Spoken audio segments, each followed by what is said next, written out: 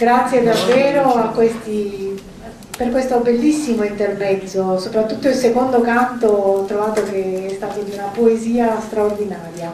E sì, è un pochino un po' il nostro spirito no? di cercare di collegarci anche con tutte le istituzioni che, che, coinvolgono la gioventù, quindi il Collegio del Mondo Unito. Devo dire quest'anno, non l'ho citato prima, ma chi mi conosce sa che poi tiro fuori le cose un po' alla volta perché mi stanno nel cuore. Quest'anno abbiamo lavorato anche una, particolarmente bene con un'associazione eh, che tiene insieme tanti giovani studenti delle università europee, europee, la EGE, in particolare la EGE di Trieste, che è qui rappresentata da Flavio Landi, e di cui c'è un bel gruppo, una bella delegazione di studenti, di rappresentanti, di, di soci. Ecco, eh, io sono molto contenta di questo perché credo che appunto serva a creare sempre di più la rete dei rapporti tra queste realtà giovanili che si strutturano per creare un, un nuovo tipo di, di, sfera pubblica, un nuovo tipo di rapporto e di relazione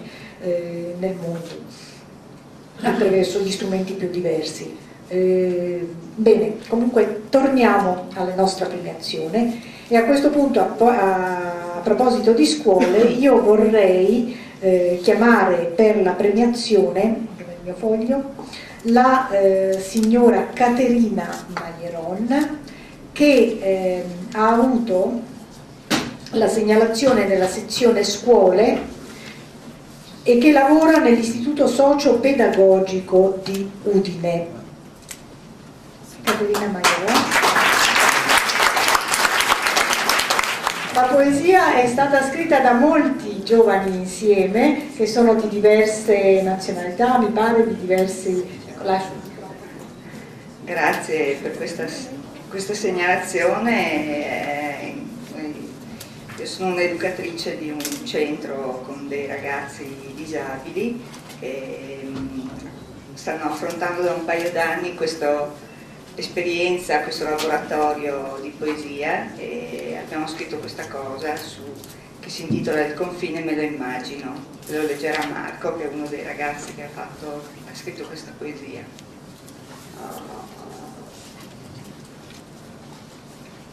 I confini esistono perché esistono paesi, esistono per essere attraversati attraversare il confine e sentire la mancanza della propria casa e provare tristezza.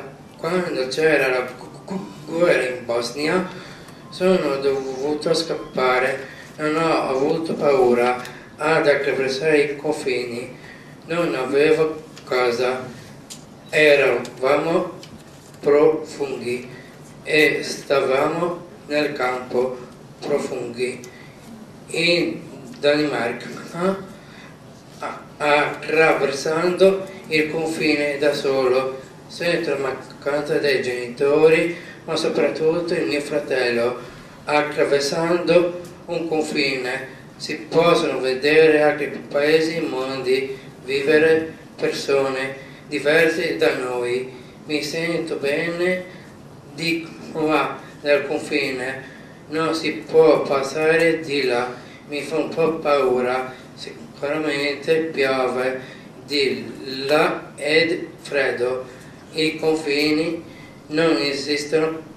Quando sono la mia famiglia, i confini tante volte sono nella nostra testa, il confine ma io Immagino drammatico come un filo invisibile pieno di case di legno colorato come una piccola seppia con fiori arancio e rosa fatto di alberi splendente illuminato dai fari fatto di montagne e prati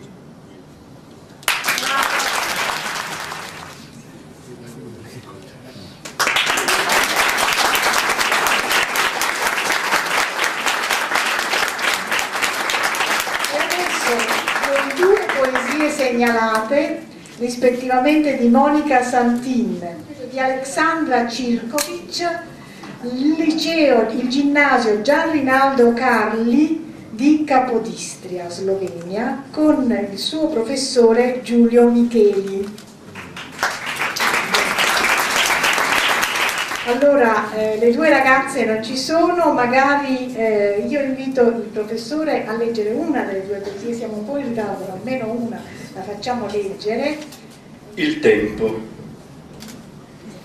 inizia con la nascita, si sentono i primi pianti di un neonato, le prime lacrime della sua vita. Le lancette dell'orologio si spostano vanno avanti, passano gli anni, ma esse non si fermano. Si fermeranno quando la vita di quel neonato cresciuto morirà. La morte sarà il suo ultimo minuto, ultimo minuto del suo tempo, del suo sospiro.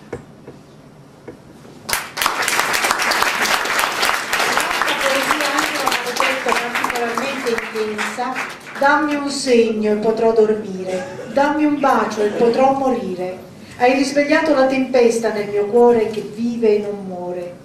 O oh, essere divino, o oh, angelo maledetto, uccidi in me quello che hai appena risvegliato. Calmami con la tua presenza, trafiggimi con il tuo sguardo, profondo e colmo di sapienza.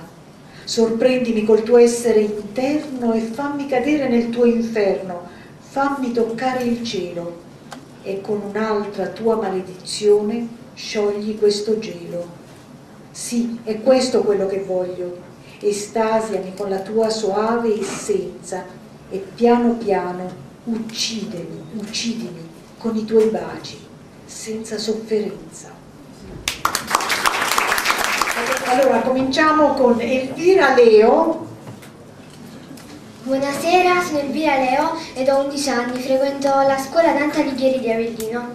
Prima di leggere la mia poesia vorrei ringraziare la giuria che mi ha permesso di stare qui e i professori Gabriella e Ottavio. La mia poesia si intitola Le porte della poesia e inizia così. Ecco le grandi porte della poesia, luminose di pace e amore e amicizia. Un leggero fruscio che ti accarezza il viso, un semplice grande sorriso Poesia esprimere senza celare la felicità o la tristezza. Poesia è la vita che anche nei momenti più tristi e scuri si ricorda di noi. Poesia è l'illuminazione nella notte più buia. Poesia è la voce in cui il cuore da sfogo esprime, manifesta, espone le sue emozioni più forti.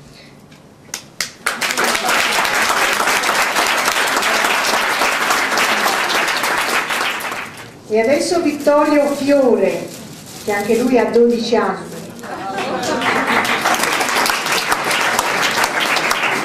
Buonasera, io sono Vittorio Fiore, vengo da Avellino e frequento la scuola secondaria di primo grado Dante Alighieri. Uh, la mia poesia si intitola Ti tendo semplicemente la mano.